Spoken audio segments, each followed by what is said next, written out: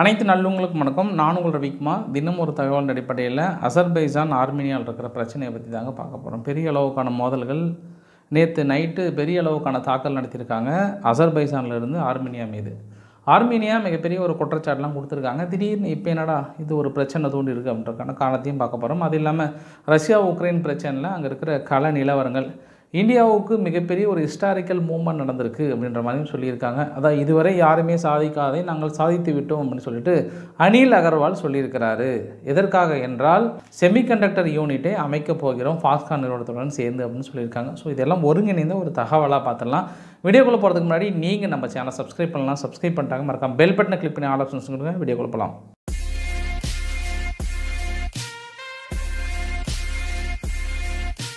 கண்டென்ட்டுக்குள்ளே போகிறதுக்கு முன்னாடி ஒரு விஷயம் ரொம்ப கிளியராக சொல்லிடுறேன். ஏன்னா நான் நேற்று கடந்த இரண்டு நாட்களாகவே ஒரு ரெண்டு மூணு சேனல்லாம் பார்க்குறேன் சைனாவுடைய பொருளாதாரம் மிகப்பெரிய அளவுக்கு வீழ்ச்சி விட்டுருக்கு. அவ்வளோதான் சைனா வந்து அழிவு பாதைக்கெல்லாம் போயிருக்கு.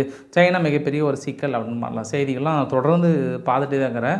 ஆனால் எதன் அடிப்படையில் இது சொல்கிறாங்க அப்படின்னு தெரியல. இது வந்து சைனாவுக்கு சப்போர்ட்டாக எடுத்துக்காதீங்க. இல்லை ஏன்டா இந்தியாவை டிஸ்கரேஜ் பண்ணுறேன் அப்படின்னு நினைக்காதீங்க. இருக்கிற ரியல் ஃபேக்ட் என்னவோ நான் அதை சொல்லிடுறேன் நான். ஆக்சுவலாக ஒரு நாட்டோட பொருளாதாரத்தை வந்து எதை வச்சு பேசிக்காக கால்குலேட் பண்ணுவாங்க அப்படின்னாங்கன்னா என்ன வரைக்கும் பார்த்தீங்கன்னா எல்லாருமே இன்ஃப்ளேஷனை வச்சு தான் கால்குலேட் பண்ணுவாங்க. ஒரு சாமானிய மக்கனா மக்களால் வாங்க முடியுதா முடியாதா அப்படின்றது எப்படின்னா இன்ஃப்ளேஷன் வச்சு தான் சொல்லுவாங்க. அதனால தான் இந்தியா கூட பார்த்தீங்கன்னா போன மாதம் வந்து ஆறு புள்ளி ஏழு பர்சன்ட் இது அதே இந்த மாதம்னா ஏழு பர்சன்ட் அளவுக்கான இன்ஃப்ளேஷன் இருக்குது மேபி ஆர்பிஐ வந்து இதுக்கப்புறம் வட்டி விகிதத்தை உயர்த்துவதற்கான வாய்ப்புகள் இருப்பதாகவும் ஒரு சில தகவல்கள் வந்து கசிக்கின்றது ஸோ இன்ஃப்ளேஷனை குறைங்க அப்படின்னு சொல்லிட்டு தொடர்ந்து சொல்லிகிட்டே இருக்கிறாங்க. இந்தியா வந்து தடுமாறிட்டு இருக்கு அட் ப்ரெசன்ட் சுச்சுவேஷன் அதுக்கான காரணமும் நம்மளுக்கு தெரியும் நம்ம அப்போ ஏழு பர்சன்ட்டுக்கே இந்த அளவுக்கான அட் ப்ரெசன்ட் நம்ம இருக்கிறோன்னா எந்த அளவுக்கான தடுமாற்றம் அப்படின்றது தெரியும். இப்போ நம்ம சீனா வந்து பெரிய அளவுக்கு அப்படியே வீழ்ந்துட்டு இருக்கு அப்படின்லாம் சொல்கிறாங்கல்ல ஆக்சுவலாக சீனாவுடைய இன்ஃப்ளேஷன் எவ்வளோன்னு பார்த்தீங்கன்னா அட் ப்ரெசன்ட் ரெண்டு புள்ளி அஞ்சு பர்சன்ட் இதை நீங்கள் மேப்பை பார்க்கும்போதே தெரியும் நம்ம. அப்போ நம்மளுது வந்து ஏழு பர்சன்ட் அப்போ அவங்களது எவ்வளோ ரெண்டு புள்ளி அஞ்சு பர்சன்ட் அப்போ நீங்களே சூஸ் பண்ணிக்கோங்க. அவங்களோட இன்ஃப்ளேஷன் வந்து என்ன மாதிரி அட் ப்ரெசன்ட் இருக்குன்னு. மீதி எல்லா சூழ்நிலைகளும் வெளிப்புற தோற்றத்திற்கு அது மாதிரி தோன்றினாலும் அவங்களோட இன்ஃப்ளேஷன் வந்து பெட்டராக இருக்குது இன்னும் நம்ம கிளியராக கம்பேர் கம்பேர் பண்ணணும் அப்படின்னா அமெரிக்காவோட கம்பேர் பண்ணுங்கள் அமெரிக்கா அட் ப்ரெசண்ட்டோட இன்ஃப்ளேஷன் பார்த்திங்கன்னா ஆறு புள்ளி ஆறு ஏழு பர்சன்ட் அவங்களுக்கும் நம்மளுக்கும் அமெரிக்காவும் கிட்டத்தட்ட நெருக்கமாக தான் இருக்குது ஸோ இதையெல்லாம் பார்க்கும்போது பெட்டராக தான் இருக்காங்க. அதாவது நம்ம இந்தியாவை தூக்கி சொல்லணுன்றதுக்காக பக்கத்தில் இருக்கிற சீனா வந்து ஒன்றுமே இல்லை அப்படின்னு சொல்லுவதற்கான காரணங்கள் அவசியம் இல்லைல்ல. ஏன்னா இருக்கிற ஃபேக்டை இதெல்லாம் சொல்லுங்கள் வேறு ஒரு விஷயத்தில் வேணால் சைனா இது மாதிரி அடி வாங்கியிருக்கலாம். நிறைய விஷயங்கள் இருக்குது மற்ற நியூஸ் எல்லாம் இருக்குது பட் பொருளாதார விஷயத்தில் அது தவறான தகவல் என்பதை புரிந்து கொள்ளுங்கள். பட் பொருளாதார விஷயத்தில் சைனாவோட உண்மையான சுச்சுவேஷன் இதுதான்.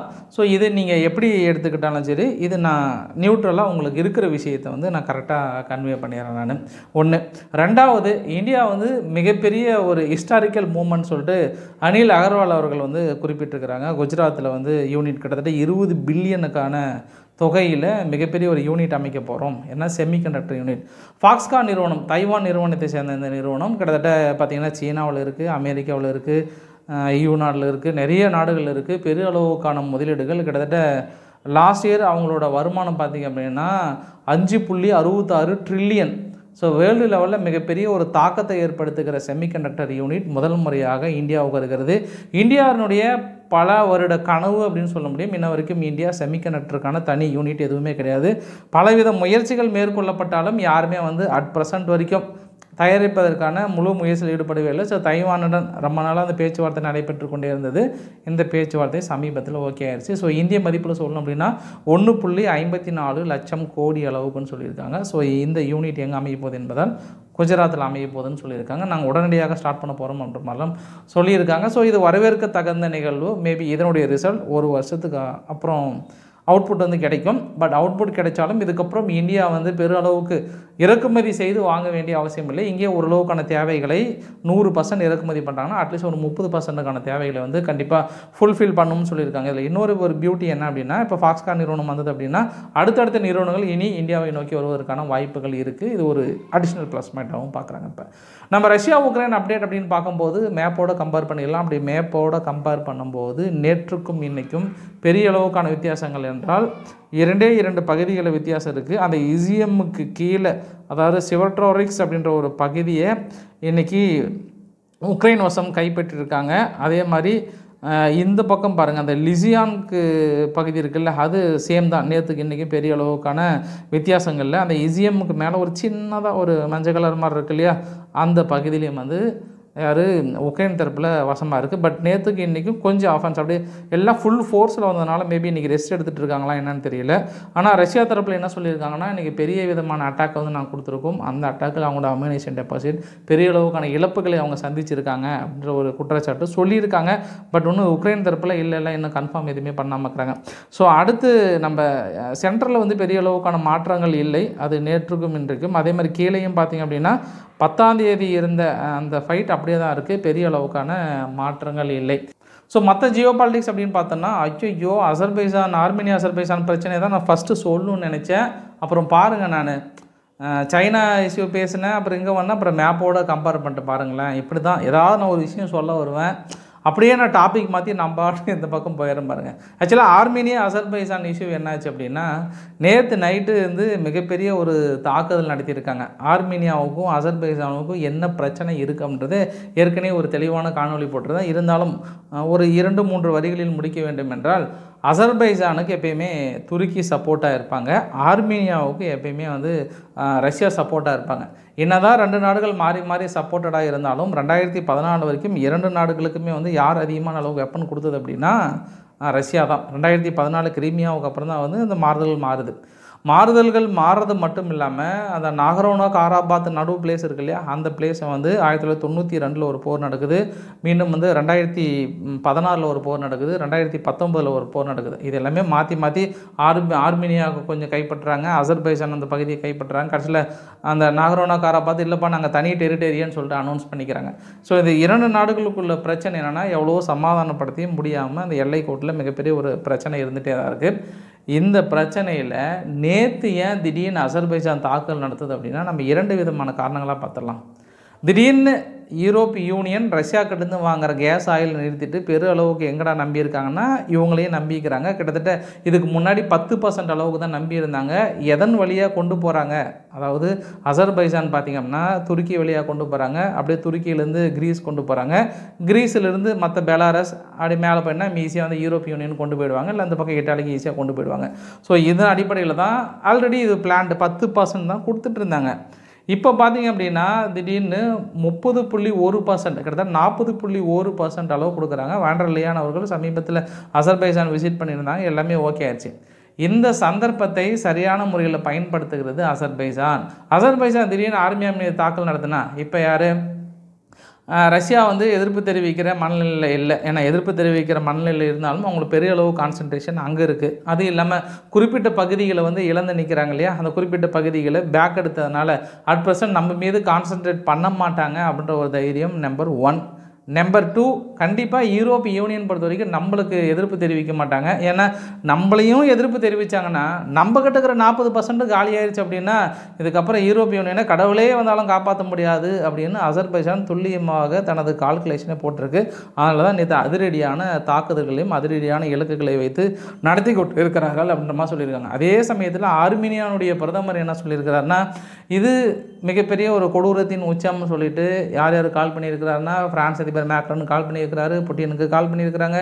இன்னும் நான் ரெண்டு மூணு தலைவர்களுக்கெல்லாம் கால் பண்ணியிருக்கேன். எங்களுக்கு சீக்கிரம் விரைந்து இது ஒரு முடிவுக்கு கொண்டு வாங்க அப்படின்னு சொல்லியிருக்காங்க. அசர்பைஜான் தரப்பிலிருந்து இன்னும் எதுவும் விளக்கங்கள் கொடுக்கப்படவில்லை. ஒரு ஆறு நாளைக்கு முன்னாடி தான் அசர்பைஜான் என்ன பண்ணாங்கன்னா ஓவராலாக அதாவது மொத்தம் இருபத்தி ஆறு நாடுகள் கலந்துக்கிட்டாங்க. உங்கள் கிட்ட இருக்கிற அந்த மிலிட்ரி எக்யூப்மெண்ட்ஸ் எல்லாம் இருக்குல்ல என்னென்ன டெக்னாலஜி இருக்குது என்னென்னலாம் நவீன டெக்னிக்கலாக வச்சுருக்கேன்ற மாதிரி ஒரு பெரிய எஜிபிஷன் மாதிரி நடத்தினாங்க. அதில் யார் பெரு அளவுக்கு ஜெயிக்கிறாங்களோ அவங்களுக்கு நான் ஆயுத ஒப்பந்தங்கள் கொடுக்குறேன்னு அனௌன்ஸ் பண்ணாங்க. அதில் அந்த கைப்பற்றியது யாருன்னா அமெரிக்க நிறுவனம் அப்படின்னு சொல்கிறாங்க அது இல்லாமல் ஒரு மாதத்துக்கு முன்னாடி தான் பெரிய அளவுக்கான தொகைகளும் பெரிய அளவுக்கான ஆயுதங்களும் வந்து யார் வாங்கியிருக்காங்கன்னா அசர்பைசான் வந்து வாங்கியிருக்காங்க அப்படின்ற மாதிரி சொல்லியிருக்காங்க அமெரிக்கா கிட்டேருந்து ஸோ இந்த தாக்குதலை பொறுத்த வரைக்கும் அமெரிக்கா வந்து அட் ப்ரெசன்ட் அமைதியான முறையில் தான் வாட்ச் பண்ணிகிட்டு இருக்காங்க. அதே ஒரு மாதத்துக்கு முன்னாடி ஆண்டனி பிளிங்டன் அவர்கள் என்ன சொன்னார்னா இந்த ரெண்டு நாடுகளுக்குள்ள பிரச்சனையை வந்து நாங்கள் அமைதியான முறையில் தீர்க்க வைக்கிறோம் அப்படின்ற மாதிரிலாம் சொன்னாங்க. ஏன்னா இந்த பக்கம் துருக்கியும்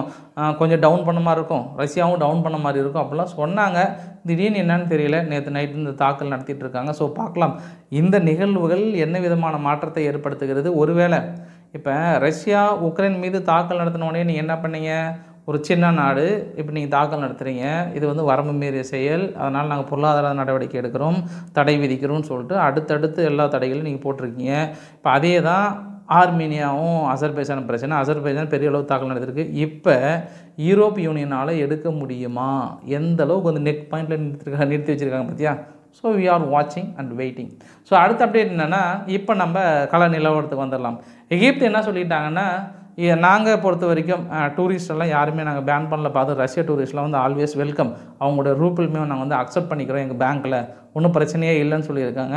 அது இல்லாமல் ஏன் திடீர்னு எகிப்து இந்த மாதிரி சொல்லியிருக்காங்கன்னா கிட்டத்தட்ட யூரோப் யூனியன் என்ன பண்ணியிருக்காங்கன்னா ஆல்ரெடி எஸ்டோனியாவும் லாட்வியாவும் வந்து கிட்டத்தட்ட நாங்கள் ரஷ்யானுடைய மக்களை வந்து நாங்கள் தடுக்கிறோம் டூரிஸ்ட்லாம் தடுக்கிறோன்ற மாதிரி சொல்லியிருந்தாங்கல்ல.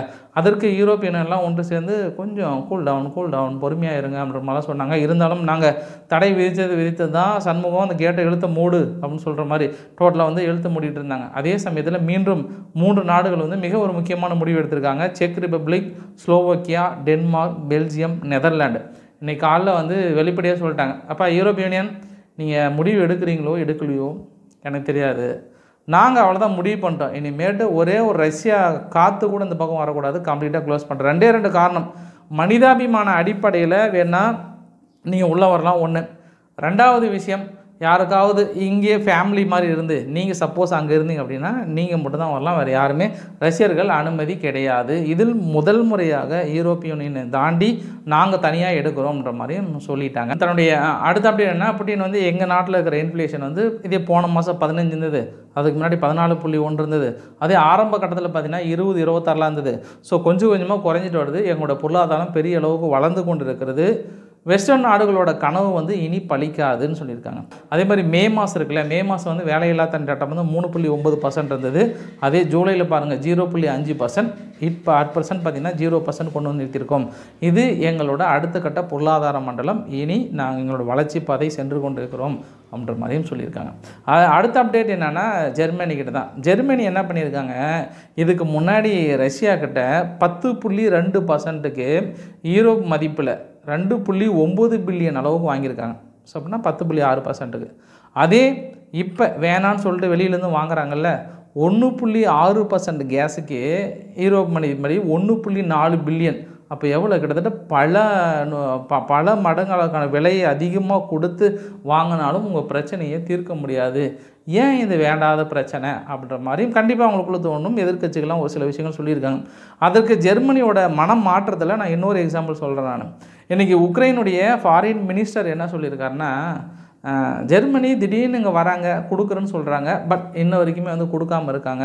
நாங்கள் we are waiting I think Germany இன்னுமே வந்து கிரிம்லின் அதாவது ரஷ்யாவுக்கு வந்து பயந்துட்டே இருக்கிறாங்க அப்படின்றது இதன் மூலிமா நல்லா தெரியுதுன்னு சொல்லிட்டு ட்விட்டரில் கடுமையான விமர்சனத்தையும் ஜெர்மனியை வந்து மிகப்பெரிய அளவுக்கு கிரிட்டிசைஸ் பண்ணியிருக்கிறாங்க.